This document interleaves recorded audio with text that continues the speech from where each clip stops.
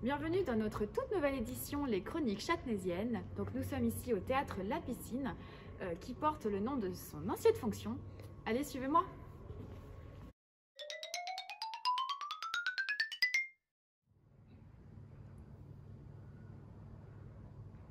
Donc nous sommes devant les machines en fait qui ont permis de chauffer euh, les anciennes piscines si vous voulez grâce euh, aux combustions des déchets de la cité jardin.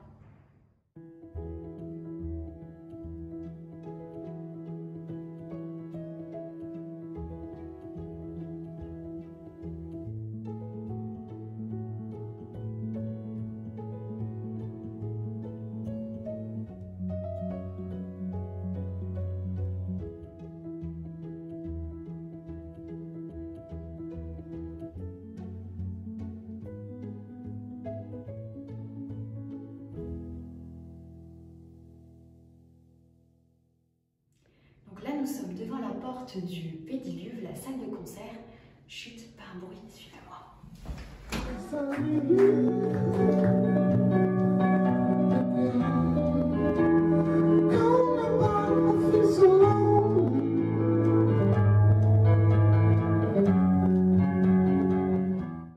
Reconstruite à l'identique, cette salle voit le jour en 2008 et propose 120 places.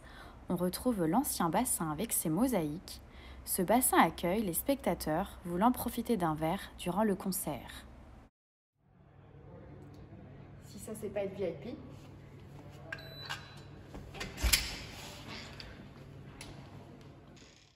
Entrons dans l'envers du décor. Entre câblage, outillage, échafaudage, ne nous emmêlons pas les pinceaux. Nous allons désormais entrer dans la salle de concert. Cette immense salle peut accueillir entre 524 et 800 personnes. Entre dramaturgie, comédie et opéra classique, se jouent aussi des représentations contemporaines.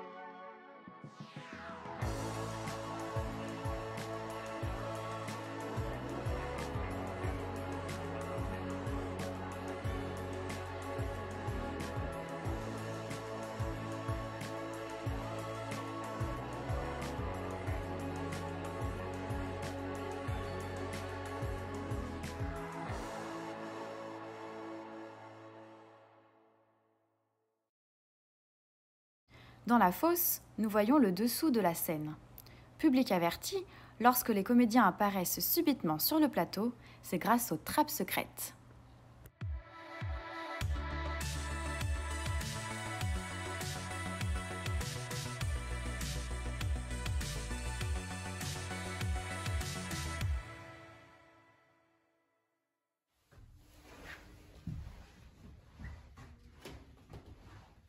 Test, test, 1, 2, 1, 2, micro. Oh, pardon.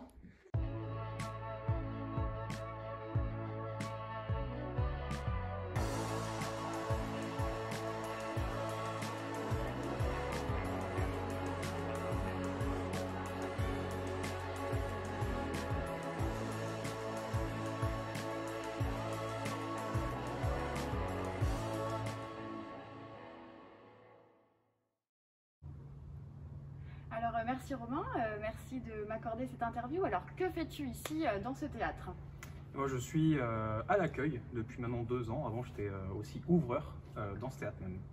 D'accord, et donc tu es châtenaisien Exactement. D'accord, d'accord. Et du coup, bah, euh, parlez-moi un peu de ce que vous faites pendant ce confinement.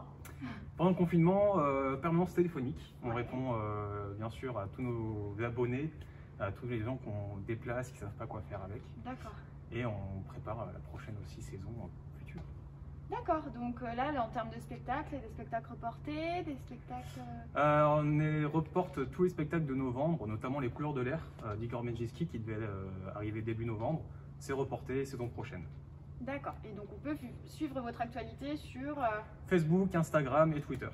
Ok, super, bah merci à toi. Merci à vous.